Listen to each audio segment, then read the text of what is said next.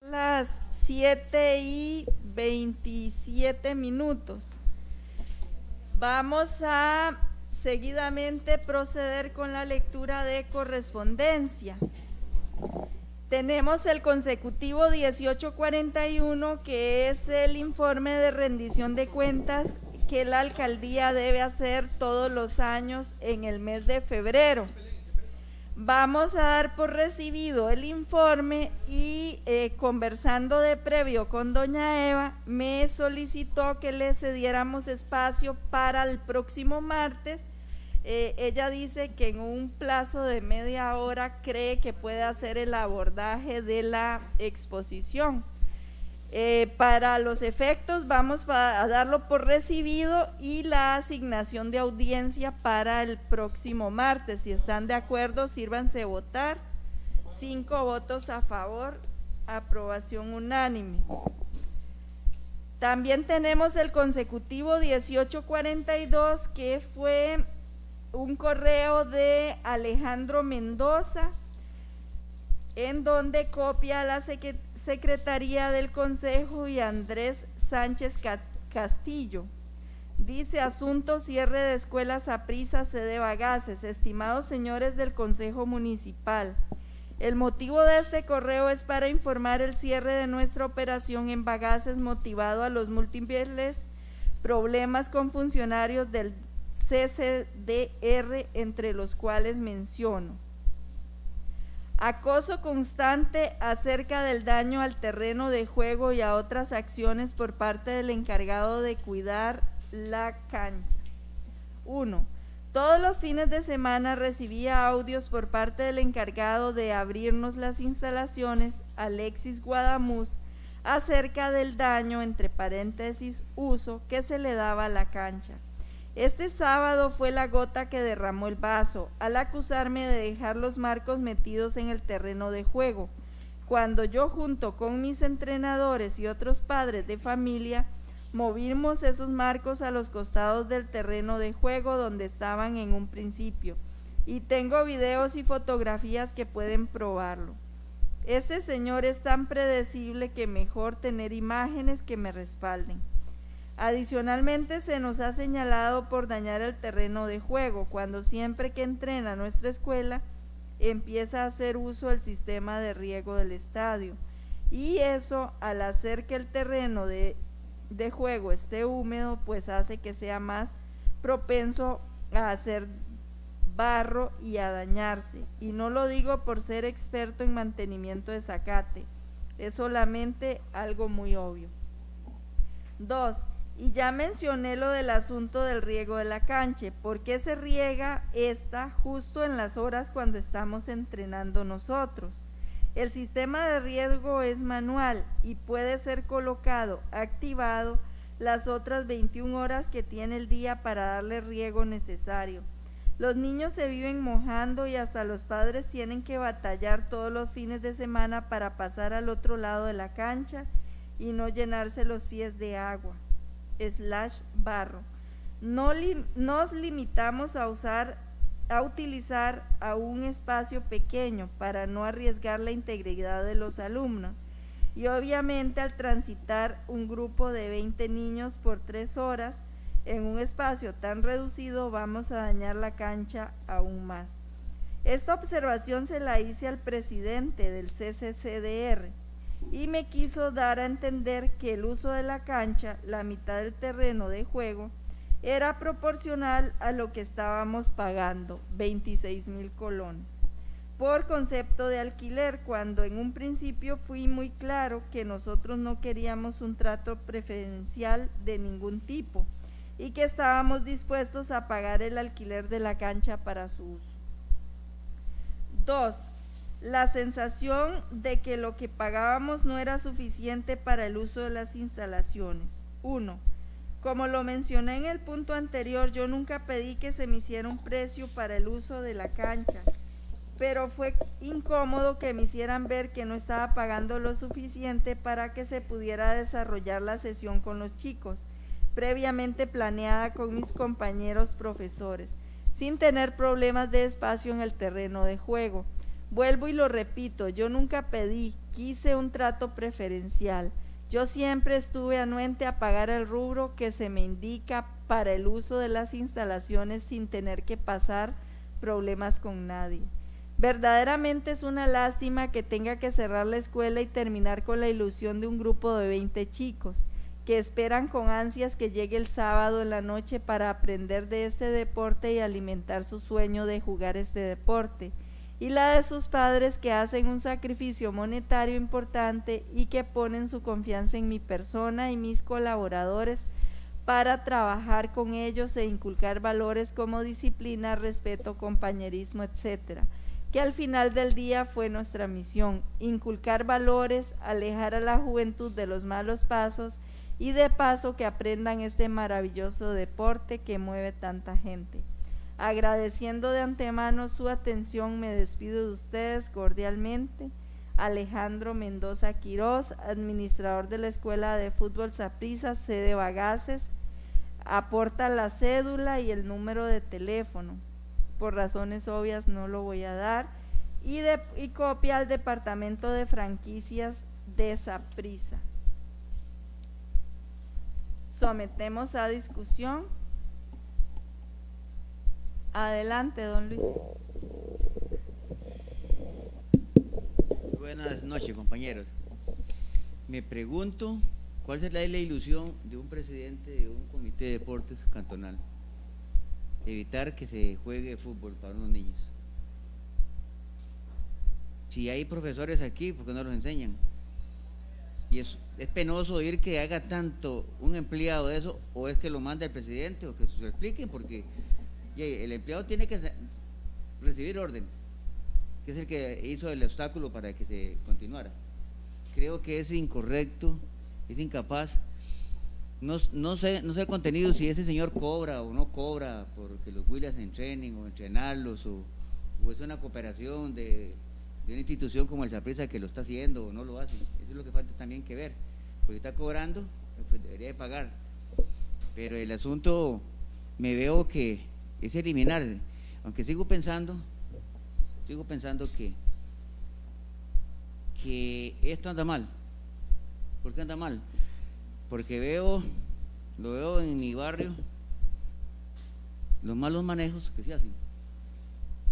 Y para fomentar deporte, el dinero que se da, la fomentación de deporte no es para comprar este ni uniformes, ni, o tal vez uniformes y bolas, pero tienen que pagar una cancha para que jueguen. ¿Cuál es, el cuál es la ayuda que se da entonces al deporte? Correcto. Marianela, ¿cuándo es que viene el Comité de Deportes a audiencia? Me lo recuerda, porfa. Me parece que es algo, me parece que es algo doloroso que los niños se tengan que, quitar de todo, porque es cierto una ilusión.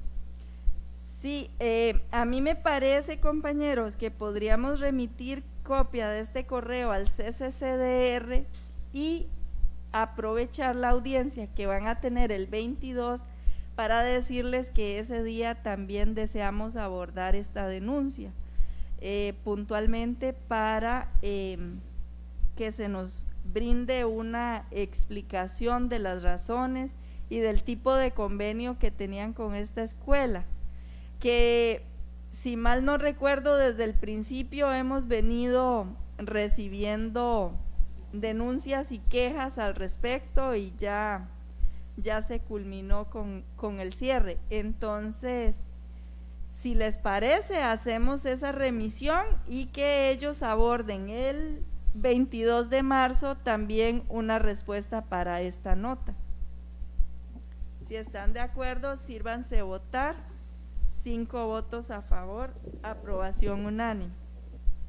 Tenemos el consecutivo 1843, que es darlo por recibido y conocido, es la ley, el proyecto de ley 22.462 para regular la publicidad para las inauguraciones de la obra, obra pública. Sírvanse votar. Cinco votos a favor, aprobación unánime. También continuamos recibiendo las respuestas a los em, casos de el Camino Cofradía. Recibimos de respuesta de el Poder Judicial para Inés Sandoval, Luisa Inés Mendoza, William Peñaranda y Juan Luis Villegas. Todos los casos eran similares y eh, se han declarado de igual forma. Sírvanse dar los conocidos. Cinco votos a favor, aprobación unánime. También tenemos el expediente 22.711, es una adición al, al, inciso 8 del artículo 209 del Código Penal. Lo damos por conocido y recibido cinco votos a favor. De la Municipalidad de Liberia, eh, respecto a un acuerdo sobre una audiencia de una empresa que desea sembrar árboles. Lo mandaron de conocimiento para todas las municipalidades del país por si alguna desea acogerlo. Damos por conocido, cinco votos a favor, aprobación unánime. Eh, damos por recibido el criterio del asesor legal de este consejo, es el consecutivo 1849, respecto a la revisión del reglamento sobre actualización de tarifas. Entonces lo damos por recibido. Cinco votos a favor. El 1851 es también las personas de cofradía. Ahora nos están enviando cartas a nosotros como consejo y comunidad técnica, en donde eh, estaban solicitándole a Javier la respuesta de unos consecutivos. Era el 1 2022, perdón, 1 2021 y el 2 2022 de igual forma, aprovecho la oportunidad porque nosotros en el 1 2022, perdón, 1 2021, les dimos, recuerdan una audiencia que les dimos. Eh, ese oficio que ellos remitieron era solicitándonos la audiencia, que también vino el, en ese momento vino aquel señor que nos habló del de Siete Cueros, el, el lugar arqueológico y después Ania y Javier fueron al sitio a hacer, Javier Chaverri y Ania fueron como representantes del Consejo Conjunta Vial hacer una gira y a ver el camino. Entonces, aunque no se hizo una minuta de la gira técnica, pues sí se realizó. Y ellos están diciendo que nosotros nunca respondimos esa solicitud. Eh, dejo en actas que sí se respondió, se dio audiencia y se hizo la gira.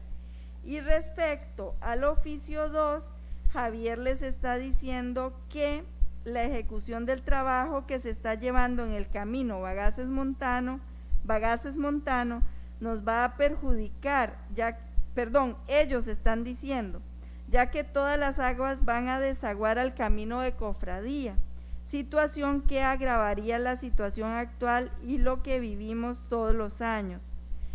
Ante lo mencionado por este comité me permito hacer de conocimiento el mismo que las obras que se realizan bajo el proyecto Mejoramiento 504001 en el sector montano Cofradía no corresponde a obras nuevas que afecten el camino 504102 al no estarse cambiando las condiciones existentes del camino que se redefinen las cunetas existentes según la topografía del terreno. De acuerdo a lo existente de larga data es importante hacer mención que el camino 5402 por naturaleza se encuentra debajo del camino 5401 no se están incorporando nuevos cuerpos de agua ya que por ese tramo discurre la cantidad de agua que normalmente da al sitio según las condiciones topográficas en relación al punto que hace referencia a la ejecución en la programación del camino cofradía, se le estará haciendo saber en el momento en que se cuente programación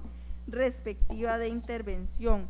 El punto que refiere que se brinde respuesta, enviado lo hago conocimiento, el oficio 1-2021 fue contestado debidamente por correo electrónico medio de notificación oficial por Orlando Granados el 13 de abril y el oficio 3-2021 los firmantes manifiestan que no requieren contestación de dicho oficio por lo que requieren audiencia, que se las dimos en este consejo.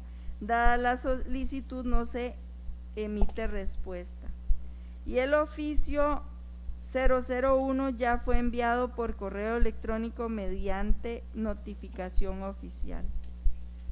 Ellos aducen que no hemos respondido, lo cual está debidamente evidenciado en las actas del Consejo y en este momento. Entonces, vamos a dar por recibido este correo electrónico y la respuesta de Javier Villafuerte y que también se le remita a los señores del camino cofradía por si es que están esperando un acuerdo del Consejo Municipal con esta respuesta para ir cerrando cabos con este el acta Marianela de la visita de eh, el Señor del Camino de Cofradía.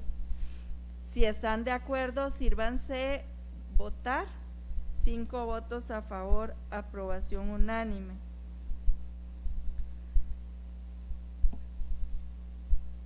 Vamos a dar por recibido el oficio, el consecutivo 1852 sobre eh, un, un acuerdo de la Municipalidad de Belén para disminuir la cantidad de papel en las municipalidades. Sírvanse votar. Cinco votos a favor. Aprobación unánime. Tenemos el expediente 21.584, Ley para el Desarrollo Social mediante la regulación de la actividad minera metálica. Lo damos por recibido, cinco votos a favor. Luego recibimos de parte de la alcaldía el convenio debidamente firmado, es el convenio de cooperación entre la Federación Costarricense de Fútbol y la Municipalidad de Bagaces. Este fue firmado por doña Eva el, el 18 de enero del 2022 y por Luis Rodolfo Villalobos el 10 de febrero del 2022 para conocimiento. Sírvanse votar, por favor, cinco votos a favor. Luego tenemos una advertencia de la auditoría interna. Es un servicio preventivo de advertencia en la implementación de la Ley General de Contratación Pública número 9986. Señora Seba Vázquez, Fabiola Rojas, Alonso González. Estimados señores, como parte de los servicios preventivos que presta esta auditoría interna de conformidad con lo dispuesto en el artículo 22 de la Ley General de Control Interno y la norma 114, las normas para ejercicio de auditoría, presento a su conocimiento la situación observada durante el estudio realizado de seguimiento de la gestión pública sobre el proceso preparatorio institucional de cara a la implementación del nuevo modelo de gestión de compras públicas, el cual está Auditoría Interna colaboró con la Contraloría General de la República. Como es de su conocimiento, el 27 de mayo el plenario legislativo aprueba la Ley de Contratación Pública 9986, la cual entrará en vigencia el primero de diciembre de 2022 generando por tanto la derogatoria de la Ley de Contratación Administrativa 7494. Este cambio de norma viene a generar repercusiones relevantes en lo relacionado a la gestión de contratación pública, a través de un modelo orientado a la generación de valor público de la actividad contractual. Es así como la Contraloría General de la República ha desarrollado una herramienta para aplicar en el mes de febrero 2022 por parte de Auditoría Interna, la cual permite la medición de la escala de preparación de las instituciones para el cambio de ley, del cual la calificación de la municipalidad de Bagaces es inicial. Los criterios bajo los cuales se evaluó dicho nivel se detallan a continuación. Estrategia y estructura 9.5, procesos e información 6.3, competencias y equipos 0.7, liderazgo y cultura 0.6, total 17%. De 0 a 25% es inicial, de 26 a 50% es básico, de 51% a 75% es intermedio, de 76 a 90% es avanzado y más de 90% es óptima. Como Bagaces obtuvo un 17.1, estamos en la preparación inicial. Adicional a lo ya evaluado la auditoría interna el 10 de diciembre del 2021 dentro del informe AINF 00121, emite dentro de las recomendaciones una con cuatro incisos relacionados a la nueva ley de contratación pública y a la necesidad de realizar todas las acciones que lo preparen para su aplicabilidad donde la alcaldía a través del oficio MB ALC 125-2022 del 18 de febrero del 2022 da respuesta a los planes de acción haciendo referencia a los oficios DFTA 004-2022 del 7 de enero del 2022 y MBPM 240-2021 del 28 de diciembre del 2021 recibidos de la unidad involucrada. Cabe señalar que en dichos documentos aún no vienen planes de acción ejecutables relacionados a la nueva ley y que por lo tanto a la fecha de esta advertencia la recomendación no se ha entregado a la auditoría el plan de trabajo a seguir. Dado lo anterior y a, pesar de que aún se está trabajando por parte del gobierno en el reglamento, es urgente que a nivel de la municipalidad se esté trabajando con el dimensionamiento de la ley para las unidades involucradas como jurídico, financiero, presupuesto, entre otros, y su impacto en el quehacer diario a través del entendimiento del cambio y de la determinación que está obligada a la institución con la misma, los posibles riesgos, debilidades actuales respecto a las actividades y control y oportunidad de mejora con que cuenta, a fin de realizar todas las acciones que lo preparen para su implementación y entrada en vigencia el próximo de primero de diciembre del 2022. Las normas del control interno para el sector público en el apartado 4.1 indica el jerarca y los titulares, titulares subordinados según sus competencias deben diseñar, adoptar y evaluar y perfeccionar como parte de el SCI las actividades de control pertinentes, las que comprenden las políticas, los procedimientos y los mecanismos que contribuyen a, asegurar razonablemente la operación y el fortalecimiento del SCI y el logro de los objetivos institucionales. Dichas actividades deben ser dinámicas a fin de introducirle las mejoras que procedan en virtud de los requisitos.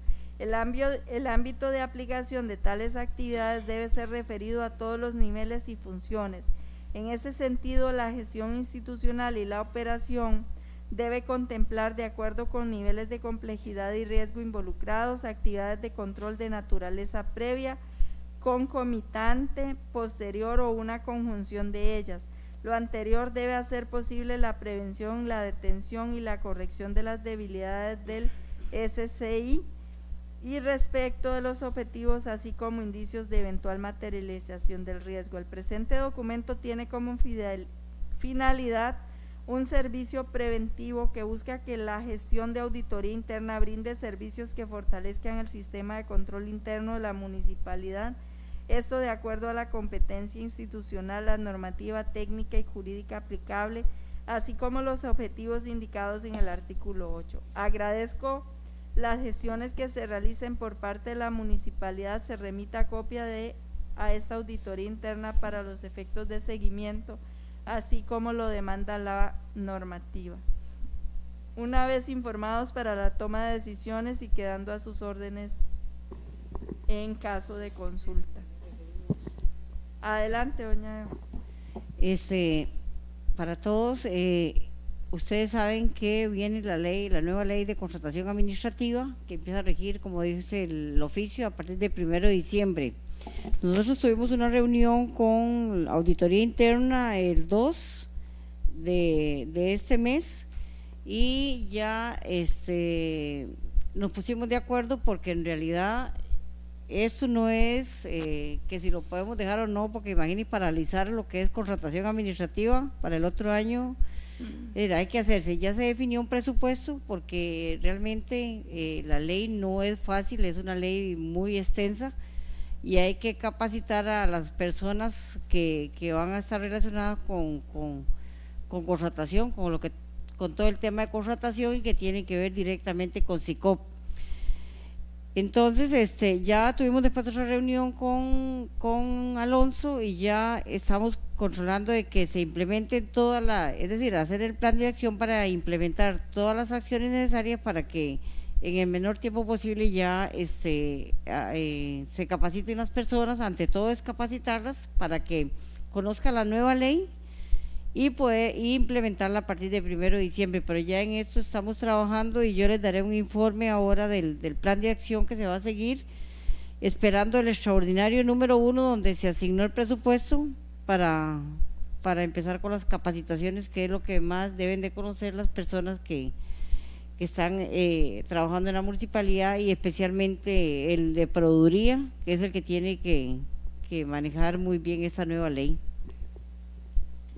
Ok, sí, específicamente yo le iba a preguntar por un plan de acción, pero si ya lo definieron, entonces nada más que nos lo remita doña Eva en el tanto lo tengan listo. Si están de acuerdo, compañeros, sírvanse votar y quedamos a la espera del plan de acción y damos por recibido el servicio de advertencia de auditoría interna de la municipalidad. Sírvanse votar, cinco votos a favor. Luego tenemos otro servicio preventivo, el 1860, también que se relaciona con auditoría interna, pero ahora con los estados financieros, porque eh, no presentamos otra vez febrero eh, para no leerlo porque es bastante extenso y es un tema conocido, me gustaría más bien que doña Eva nos cuente cómo vamos con ese tema porque ya van varios advertencias. Adelante.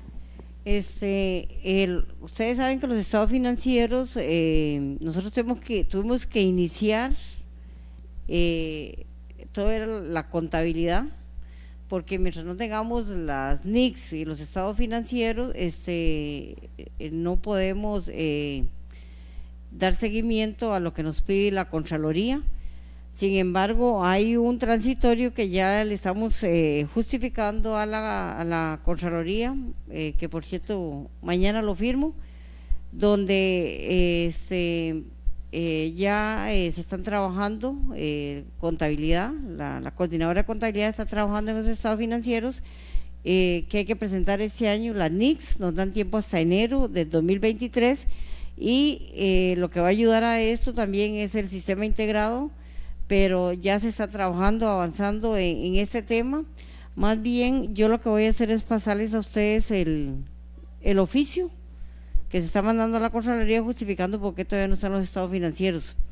Porque, eh, como ustedes saben, eh, este, esto nunca se había tenido en la municipalidad, nunca se han tenido estados financieros y ahora estamos logrando ya ir actualizando la información y llevando el día a día, porque en realidad no, no teníamos la información que se requería, entonces empezó a hacer como borrón y cuenta nueva para llevar este, la contabilidad día a día y sin un sistema no es tan fácil hacer eso a pie, es demasiada la, información, pero ya se está en ese proceso y yo me comprometo a traerle la nota que le enviamos a la Contraloría mañana, de enviarle copia también al Consejo para que la tenga. Ok, quedamos a la espera, entonces damos por recibido el segundo aviso de advertencia por estados financieros. Cinco votos a favor. Vamos a dar por recibido los oficios 1856, 1857, 1858 de municipalidades. Sírvanse votar, por favor. Cinco votos a favor y el 1859 de Asamblea Legislativa por el expediente 22.607. Lo damos por recibido. También vamos a dar por recibida una correspondencia que nos había quedado de la semana pasada. Es el oficio 1812, solicitud de material. Era una... Doña Eva le había solicitado al ICE eh, un material para hacer un puente en la catarata. Ese material dice que va a necesitar dos unidades de tubo de perforación usado de 114 milímetros para uso estructural, un carrete de tubo cavilar de 9.5 milímetros y 40 metros de cable de acero galvanizado de 12.7 milímetros. Solicitó por favor exponer todo lo anterior al Consejo Municipal porque dentro de los requisitos para la solicitud está presentar el acuerdo de aprobación del Consejo Municipal de solicitud de donación. Entonces, esto lo requiere eh, Doña Eva para la catarata, es el oficio de Doña Eva 114-2022. Si están de acuerdo, sírvanse votar, por favor cinco votos a favor, aprobación unánime. Luego tenemos el oficio 1803, es la reconstrucción y aumento de resiliencia y disminución de riesgo de 24 acueductos. El tema es que eh,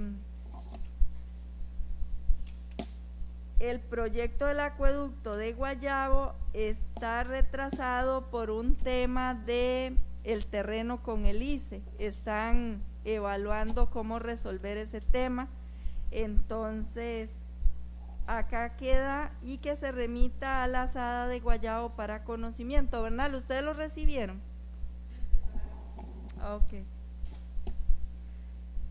Entonces, en el nuevo cronograma nos pasan diseño de obras por administración, diciembre de 2021, diseño de planta de tratamiento, septiembre de 2021, contratación de la construcción, mayo 2022, construcción de la planta de tratamiento, diciembre de 2022, construcción de obras por administración, mayo 2022 y cierre del proyecto junio 2023. Lo damos por recibido y conocido, cinco votos a favor, aprobación unánime. También teníamos las mismas notas 18 consecutivo 18-14 de eh, estos señores de cofradía y 18-15, que fue lo que ya Javier dio respuesta y que vimos. Entonces lo damos por recibido y conocido. Cinco votos a favor aprobación unánime. Luego tenemos un correo de CONAVI en donde dicen, eh, en respuesta al oficio MBSM 16, procedemos a informarle que para el caso de la ruta nacional número 1, tramo Liberia Cañas, en la actualidad no se cuenta con contratos para el mantenimiento de esta y demás rutas con superficie de asfalto de la provincia de Guanacaste. En la actualidad se trabaja con recolección de datos y elaboración de inventario de necesidades para que el momento en que se cuente con algún mecanismo o contratación para brindar mantenimiento se proceda a intervenir la ruta citada, por lo que los tendremos presente en sus observaciones. con respecto al problema de alumbrado público en la carretera, es competencia del Instituto Costarricense de Electricidad. Debido a ello, se le sugiere realizar el debido reporte a esa institución. Es la propuesta de, de Austin que acogió Juan José. Entonces, están diciendo que no hay presupuesto y que no tienen planeado hacer. Damos por conocido, sírvanse recibir cinco votos a favor. Y luego tenemos el documento 1816 del Comité de Deportes haciéndonos llegar el presupuesto extraordinario para el plan de trabajo. Ellos, a mí me gustaría que eh, de igual forma les digamos el 24 que viene, 22 de marzo que vienen, que nos lo expongan para tener conocimiento, porque es un proyecto que desean realizar. Entonces, más bien, Marianela, remitir por acuerdo que el 18-16 por favor vengan preparados para exponerlo y plantearnos el proyecto. El consecutivo 18-16, ¿están de acuerdo? Sírvanse votar. Cinco votos a favor, aprobación unánime.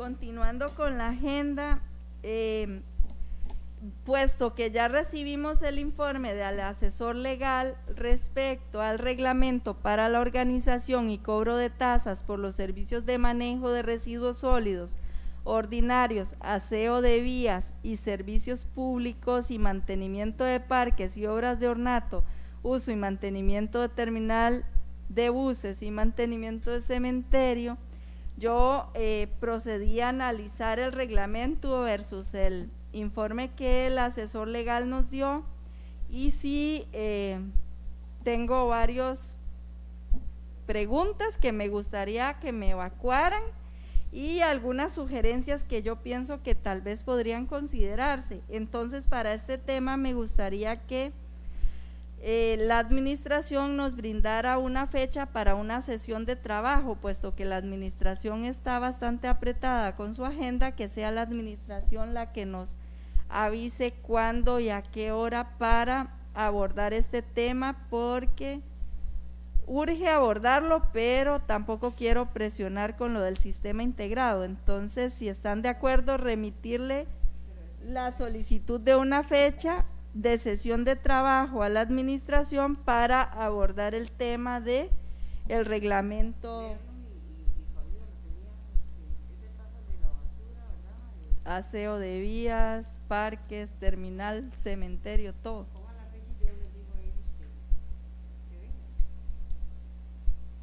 ¿No le queda mejor a usted? Bueno, no sé, como, como guste. Usted nos avisa. Como gustemos. Yo prefiero presencial porque sí tengo un montón de preguntas. ¿Estamos de acuerdo, compañeros? Cinco votos a favor, aprobación unánime. Y respecto al reglamento de la catarata, también, doña Eva, yo le he estado preguntando y dice que ya han habido avances con respecto al cambio de uso de suelo. Entonces, eh, ya podemos poner en la mesa este tema, tenemos que aterrizar los reglamentos propuestos. Entonces, eh, también me gustaría involucrar a la administración, puesto que tiene también bastante injerencia en él. Entonces, que doña Eva nos asigne una fecha para una sesión de trabajo, doña Eva. Eh, El reglamento de la catarata. O así más bien ustedes.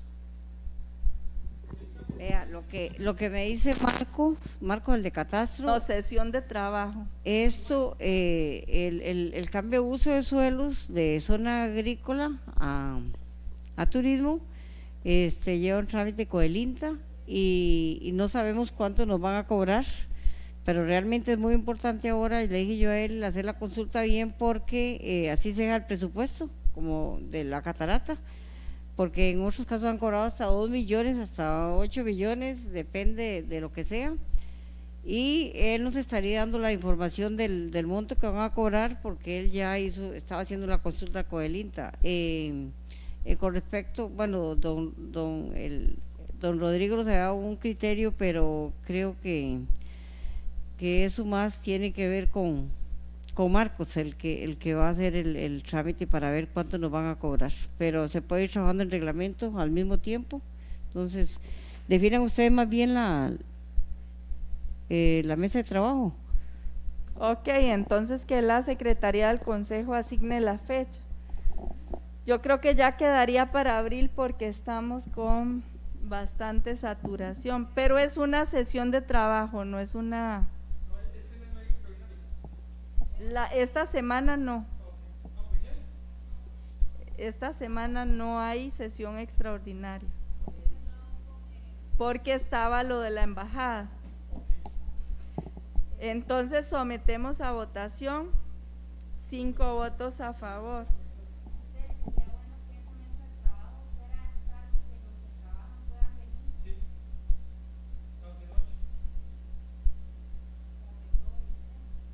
Los que trabajan. Ah, los. Sí. Ok. Sí, que sea después de las 5, es lo que dice Heidi, eh, Marianel.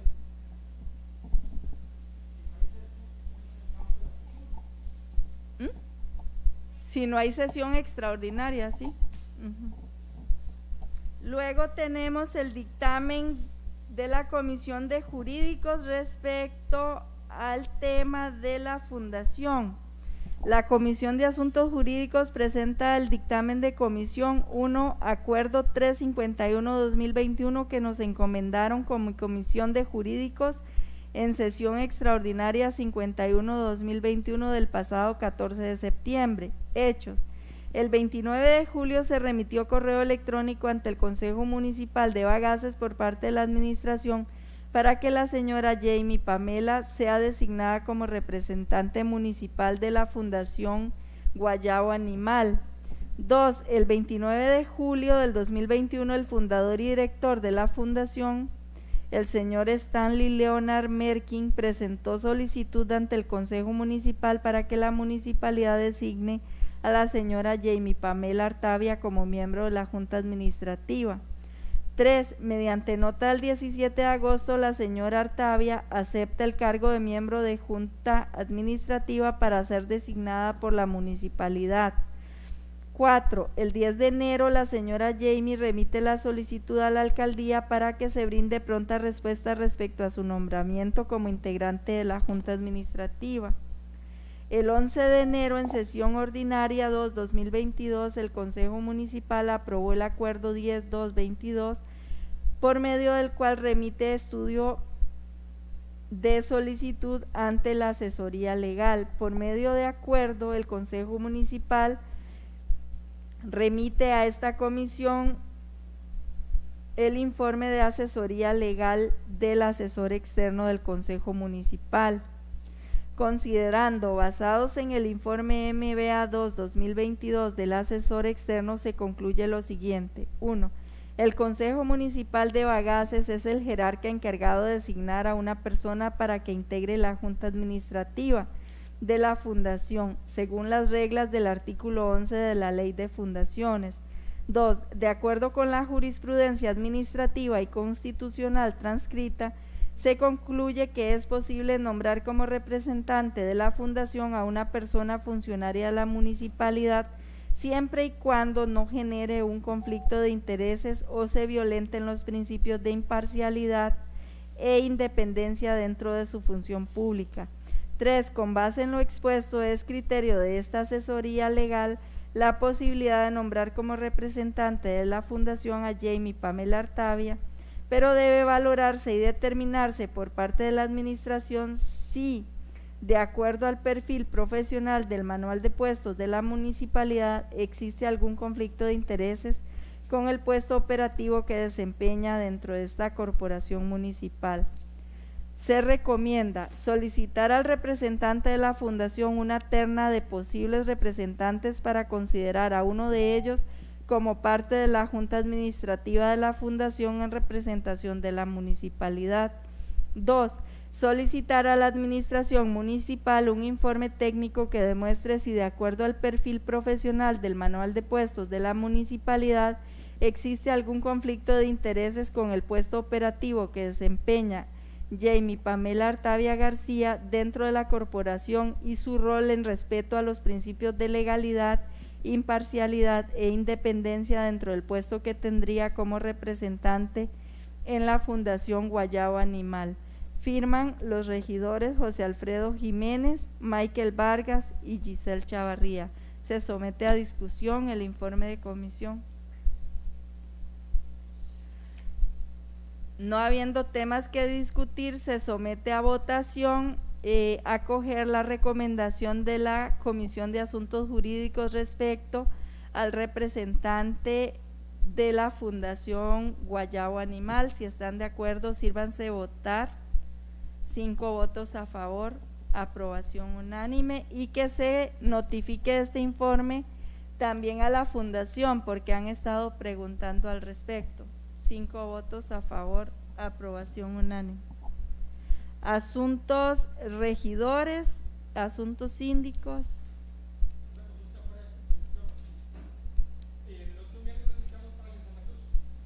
Dieciséis, si Dios quiere.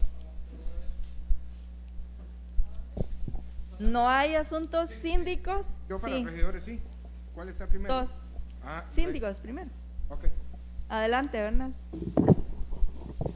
Sí, buenas. Eh, bueno, como es costumbre que siempre nos llegan ya las notitas sobre caminos y esos asuntos, yo traigo una para leer y que de ahí se le pase a la administración, aunque siempre va a quedar en el folder de, del Consejo Distrito.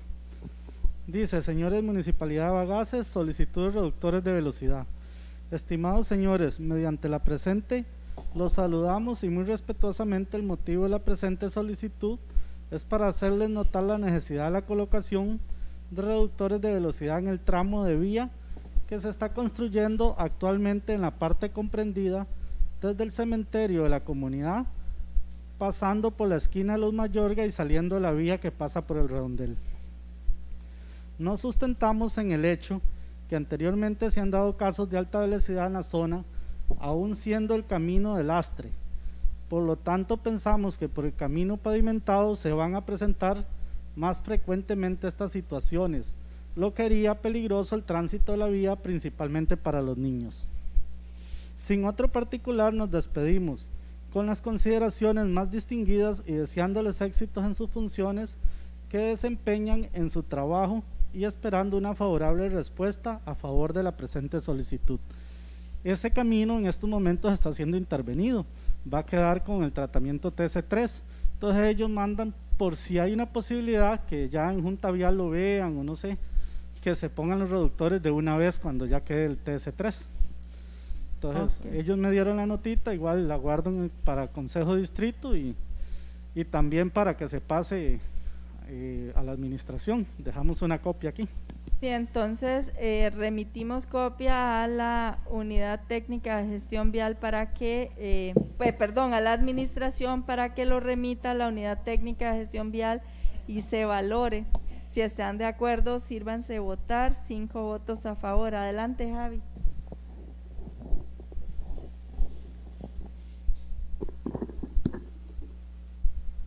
Es este, una consulta que me indica la Asociación de Desarrollo Integral de Bagaces. Ellos eh, me hacen saber de que enviaron nota el 12 de enero de este año solicitando las fechas para lo que es este, las ferias de rodeo, si Dios quiere, en diciembre. Ellos están solicitando las fechas, que le reserven las fechas del 1 al 4 de diciembre del 2022.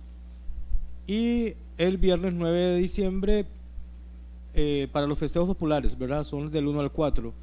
Y del 9 de diciembre del 2022 realizar el festival navideño. Pero me indica que no han obtenido respuesta. Eh, lo- en la correspondencia que yo he recibido no la tengo. Se la envió dirigida al señor, al que estaba hace poco, Ricardo Escobar. Ah, es que eso es en la administración. no es Pero- al consejo. Sí, pero nunca recibió respuesta de ningún tipo. Entonces, este, yo le decía, la enviaron el 12 de enero. Es que ya se fue, ya renunció. ya no está, entonces, Puede ser que, que está traspapelada, sí. pues, Bueno, no sé si la envío al consejo que les quede aquí o se ve o se la pido física. No, mejor mándela al consejo, porque al consejo no ha llegado. Ah, bueno, al chat. Lo que tengo es como una captura de... Sí, mándesela a Marianela, porfa. ¿Cómo? Sí, para que Marianela se las pase, porfa. Usted se la pasa a doña Eva, la imprime y se la pasa a doña Eva, porque Javi solo tiene foto. Sí, es que ya, digamos, mucho tiempo, el 12 de, de- del 12 de enero del 2022. ¿Está bien? Eso era, Giselle, gracias. Mucho gusto. Pero. Sí Sí, puedo, síndico, sí puedo, don José. Yo- Gracias. yo no doy la Adelante, doña Marjorie. Este, estaba bromeando. Eh, se ha solicitado ya en reiteradas veces que nos den la información de los saldos de este, Ahora le dije a doña Eva. ajá, que no lo- y nos urge tener esos saldos en la mano para ver qué vamos a hacer con lo que queda. Este, y lo otro es eh, Estamos hablando de partidas específicas. Sí, de partidas ¿verdad? específicas, por favor.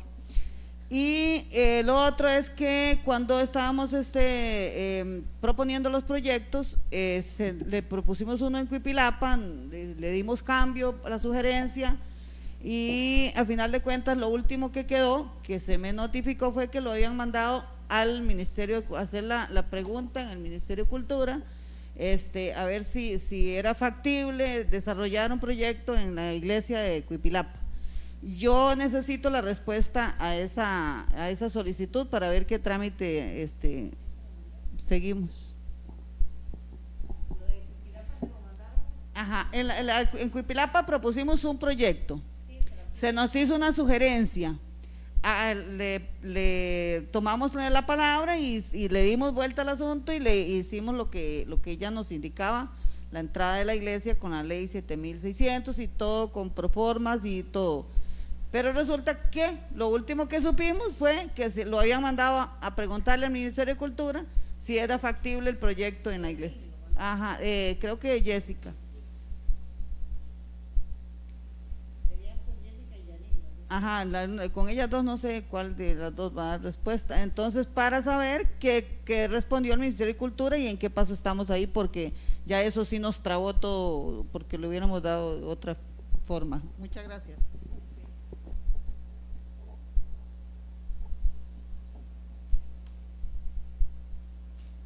Ahora sí, José, adelante. No, yo lo que quisiera es que quede, para que queden actas, eh, la sesión anterior lo comenté fuera, fuera de micrófonos, es con el tema de que se le está cobrando a los vecinos de registrados en el distrito primero de, de Bagaces, pero que viven en comunidades muy lejanas, el servicio de aseo de vías, parques y cementerio y todo el asunto. Específicamente a la gente de San Bernardo que vive ya en la colindancia con, con- con Santa Fe, en el puro límite, entonces ellos ya después de ahí ya, ya son parte del distrito central, pero me imagino que así hay un montón de comunidades más.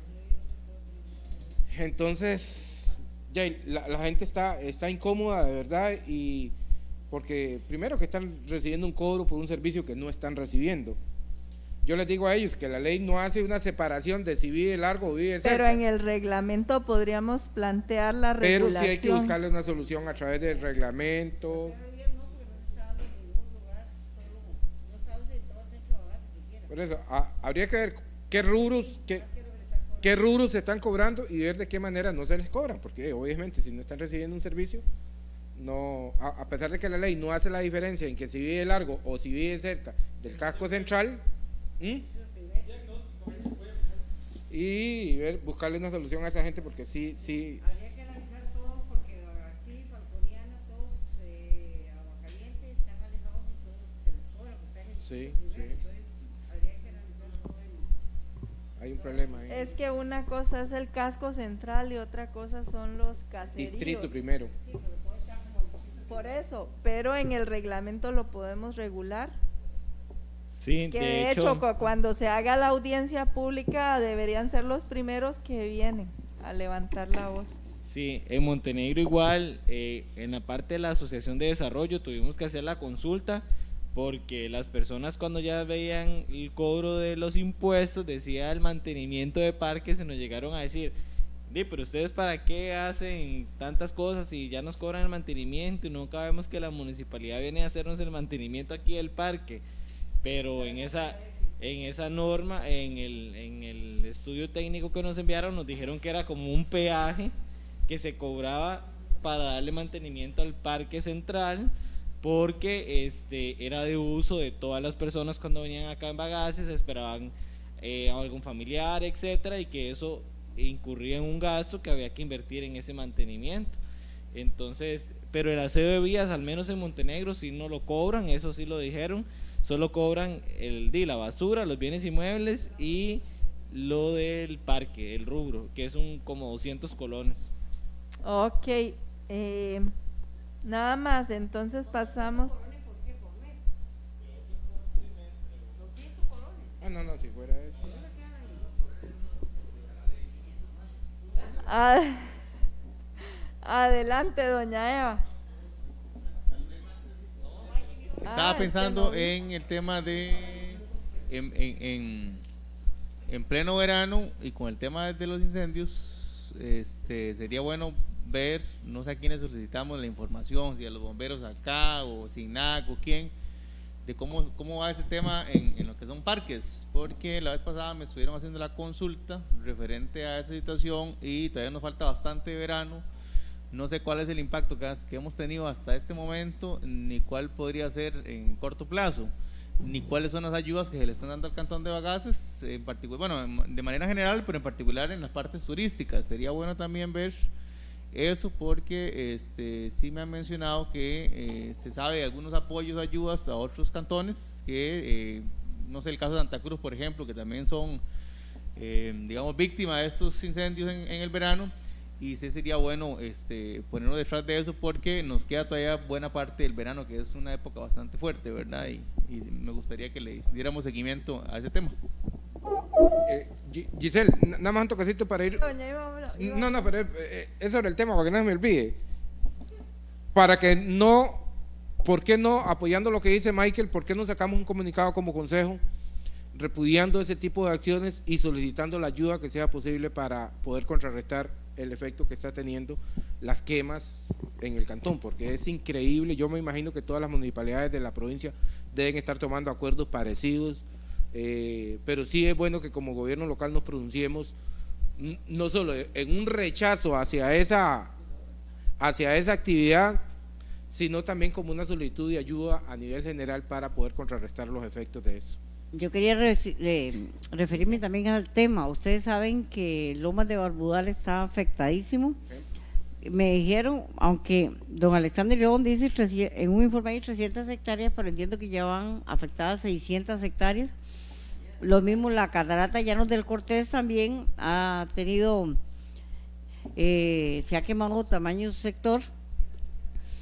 Don Alexander nos estaba pidiendo la maquinaria, sin embargo solo tenemos un bajo y está trabajando en aquí en, en Guayao, están en los trabajos. Eh, a raíz de eso, eh, yo eh, convocamos a la Comisión Municipal de Emergencia, sin embargo, don Leonardo, el, el encargado regional de coordinación regional, dice que no hiciéramos la reunión hasta hacer la consulta si hay recursos para pagar para alimentación porque son eh, mucha gente la que está ya haciendo un gran esfuerzo, están cansándose porque ha logrado controlar el, el fuego dos veces y se vuelve a quemar porque es increíble, uno no se imagina que a la hora del sol y, con el viento, como que el fuego, aunque haya un, un gran, casi el ancho de una calle brinca de un lado a otro. Es increíble eso y, el temor que le da a uno cuando, cuando ve incendios ahora en el verano. Entonces mañana este, seguramente vamos a, a reunirnos para ver qué hacemos para apoyarlos y sin embargo con la unidad, eh, con la unidad técnica aquí Javier me dice que es un poco complicado porque los muchachos no están entrenados para eso y que si le pasa, es decir, el riesgo que tendrían los choferes que no estaban acostumbrados y, además que el, poco maquinaria, la poca maquinaria que tenemos. Pero vamos a ver cómo lo manejamos mañana que nos dice don Leonardo para, para apoyar a, esta gente que han tenido ayuda de todo Guanacaste, pero ha sido incontrolable los incendios y, y definitivamente lo que dice José Alfredo es un acto de repudio contra esta gente que, que en muchas, muchas ocasiones lo hacen en forma intencional. Eh, eh, la, la otra semana, martes 15, viene don Alexander León. Entonces, el tema iba a ser el Parque Miravalles, pero podríamos remitirle un acuerdo que adicional al informe que ya él sabe que tiene que preparar, nos remita un informe sobre eh, los incendios forestales en el cantón de Bagaces y su impacto en las áreas de protección para que eh, lo remitamos y él pueda traer la información de una vez y no lo tomemos desprevenido. Si están de acuerdo, sírvanse votar la dispensa de comisión. Cinco votos a favor.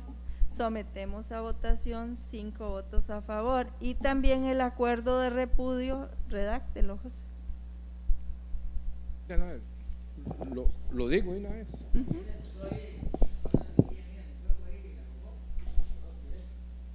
Sí, es que el viento, yo creo que lo que más ha afectado es la gran cantidad de viento que ha habido. Giselle, yo,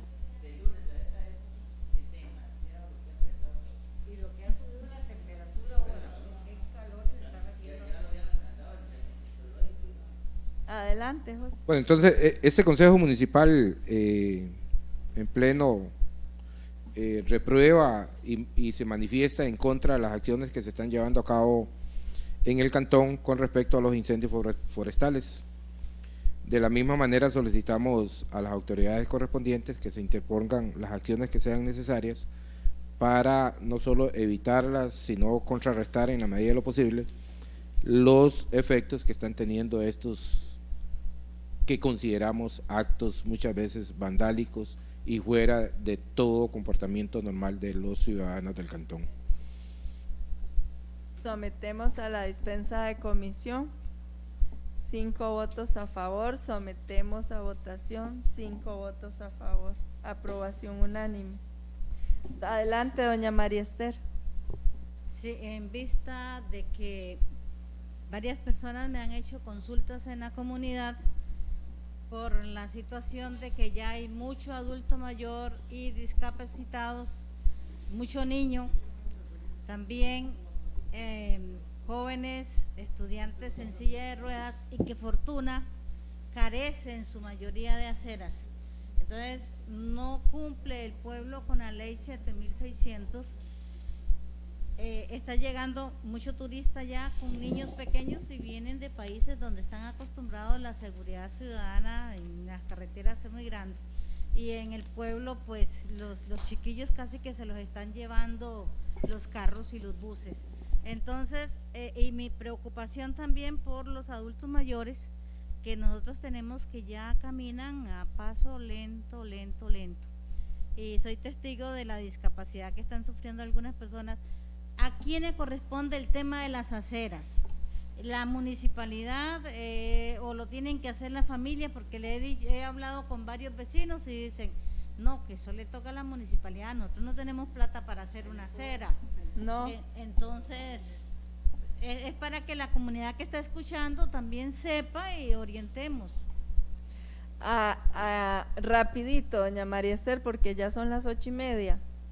Hasta el 31 de diciembre del 2022 le toca a los vecinos.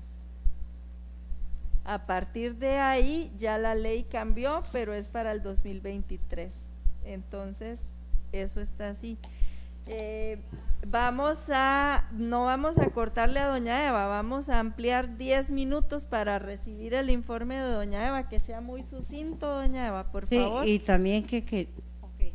Cinco votos a favor, aprobación unánime. Quería informarle a algo, este, a doña Maricera, ahora con el superávit dejamos 3 millones para la máquina de adoquín ya, para ver si se repara y, y 15 millones para reparar aceras, especialmente pensando en, la ley 7600. Entonces ya se dejaron 15 millones de aquí de la administración, además por ley se tenía que dejar el 10% en la unidad técnica de gestión vial, que son 18 millones que sería para...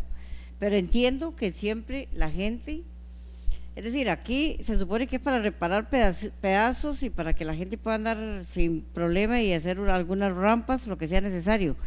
Pero entiendo que con lo de la, la- la unidad técnica de gestión vial, la donde hagan las aceras, las personas tienen que, que pagar la, Te la hacen, pero usted la paga.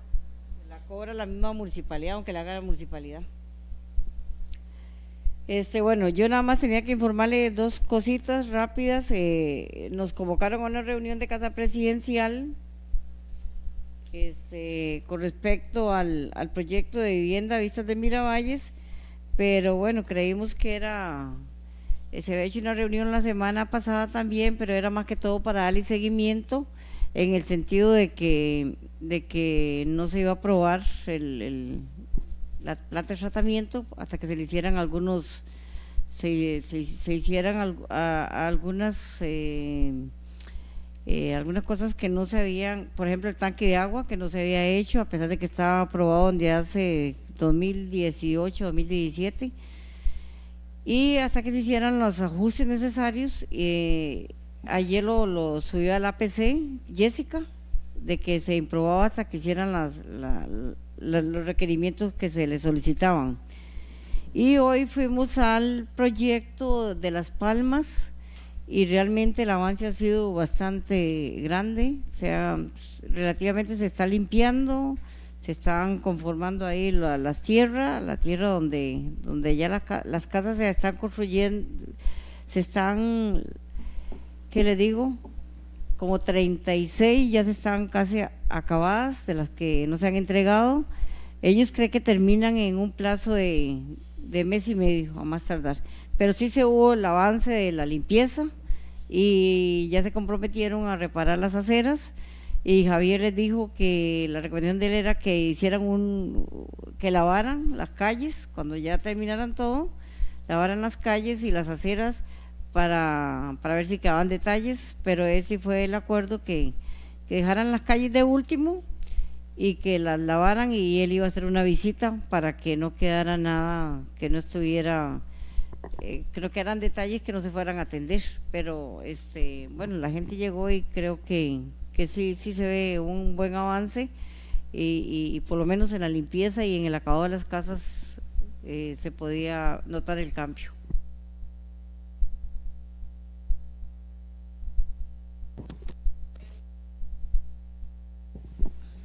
Con respecto a, las- viviendas de este proyecto Las Palmas, he escuchado muchas quejas de que el piso se está esponjando, no sé cómo le dicen ellos, pero, o sea, qué es lo que ellos quieren expresar, pero como que se revientan tubos por debajo y que eh, revientan el cemento y sale agua por borbollones por todo lado.